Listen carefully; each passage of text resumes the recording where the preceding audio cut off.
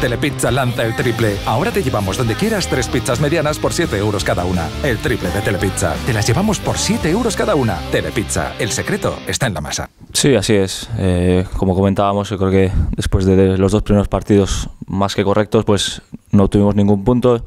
A partir de ahí, pues todo fue mucho más difícil con, con los dos partidos consecutivos ante el Manchester.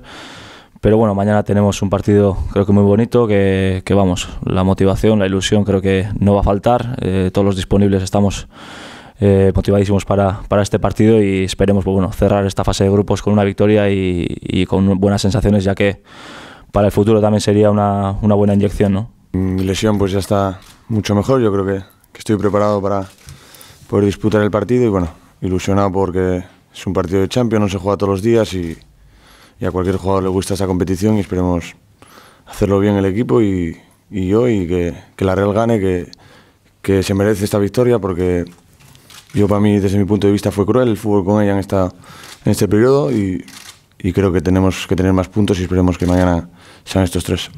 Sí, bueno, siempre, siempre es triste poder entrar a, en el equipo tras una lesión de un compañero, pero bueno, estamos expuestos a, a esto en esta profesión y, y no queda otra que, que a mí me tocó entrar por, por esta lesión y, y, espero hacerlo bien, aprovechar la oportunidad y, y, ayudar al equipo, que es lo más importante. Sí, sí, por ello mismo, ¿no? Eh, un rival así, un, un escenario así, eh, solamente ya que, que, suene el himno, vamos, eh, a todos nos, nos, encanta, que a todo el público de Anoeta y, y tiene que ser una, una motivación extra, ¿no? Eh, y, al hilo de, del futuro también, pues yo creo que es un partido que nos puede dar una inyección de moral eh, para los siguientes partidos antes de Navidad. Creo que estamos en, en, buena senda en Liga también, pero, pero bueno, un triunfo en Champions siempre tiene, tiene más peso y ante un, ante un rival así, pues yo creo que más. ¿no? Al final yo creo que la afición eh, ha hecho un gran esfuerzo en todos los desplazamientos, eh, en todo momento que ha estado con nosotros aquí también en casa. Creo que les brindamos la oportunidad de jugar la Champions, de, de ver esta competición aquí. No ha podido ser con, con una clasificación, con con, bueno, con un seguimiento en Europa, pero, pero, pero bueno, yo creo que el triunfo de mañana sí que podría ser un bálsamo para, para afición, para, para nosotros, para el futuro y, y, vamos a intentarlo.